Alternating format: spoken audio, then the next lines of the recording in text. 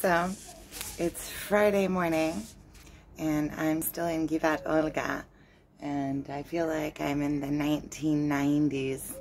I, I walked back into Israel in the 1990s. It's like, uh, I'll show you the neighborhood here. I'm going to turn here. See.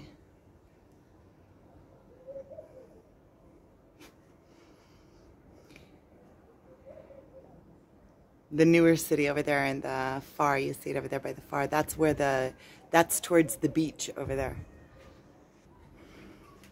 I just want to show my surroundings really quick, but um, what I wanted to share was some thoughts that I had. Um, I'm on day three of my journey and just kind of letting things unfold for me as I go.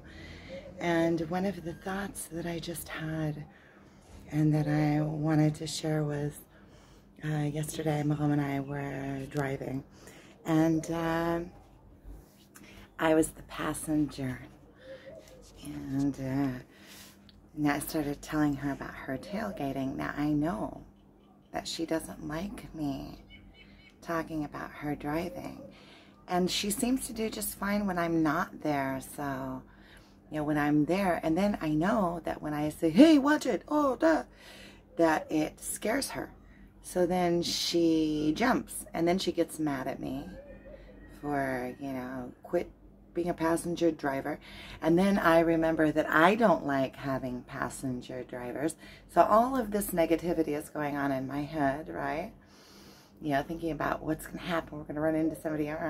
All this negativity, right? And so lately, um, not only have I been really trying, really watching the thoughts that I allow to be in my mind, but Marom is on this amazing path of her own. And uh, she's, um, and she's doing really well on her path. I'm really happy for her. But on her path, and she's really watching her thoughts, and she says to me, So, Ima, I don't want all this negativity in my life. Just stop talking about it. So I just look out the window when she gets after me. I look up at the clouds. And it passes any kinds of thoughts. Okay, so wait, I'll show you the clouds. I was just looking up at the clouds. Look at those clouds. See?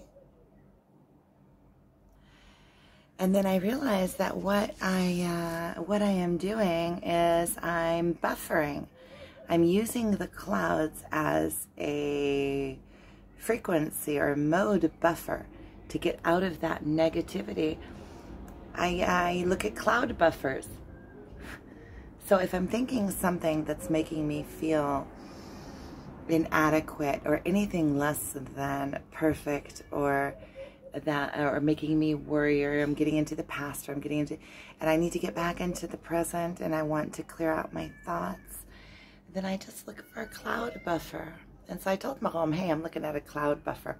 She knew what I was say saying, but she said, what, what if there aren't any clouds? And I said, well, what if it's only a blue sky? And I said, well, then it's a blue sky buffer, or it's a plant buffer, or it's a friendly face buffer. There's always buffers. When you're looking for good, that's all you seem to see. When you're looking for bad, that's all you seem to see it just works like that. It's, it works out perfect like that. So all you have to do, really, clear your thoughts. Think of thoughts that make you feel good. And then you get to feel good. And then you get to feel good all the time. You get to just choose how you feel. It doesn't even matter what's going on outside. It doesn't matter. Heaven is inside. You get to choose what you feel. And there's always cloud buffers. There are always cloud buffers. See? Cloud buffers. Cloud buffers. There's always cloud buffers. All you have to do is watch your thoughts and be careful and only allow the things that you want to be in there be in there why do you even need to think about all the negativity? If you think about the negativity, it's, it, well, negative. What is even negative? There is no, what is that? But if you think about thoughts that don't make you feel good, they become part of your life. And if you only allow in the thoughts that do make you feel good, you'll see that your life just starts feeling good and everything just seems to work out for the best. Because people by nature want to feel good. So if you're feeling good, the people around you feel good because they want to. And they're attracted to that. And then feeling good and people that feel good make good situations. It just works like that. I mean, it just, I mean, it's common sense. It just, it's not magic. It is magic. It's all magic. But it makes sense. It's not just chaos. There's, there's, it's just and sound and works like it works. And when you get the emotion out of it, then you get, you can work with it. And that way you can actually design your life around the emotions that you want to feel with your mind. say strong mind and heart. I like that. I like that, yeah. Okay. This is day three. This is nice. Nice. I see. This is nice. Beep beep.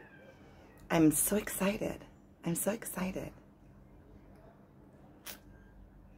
I feel free and freed.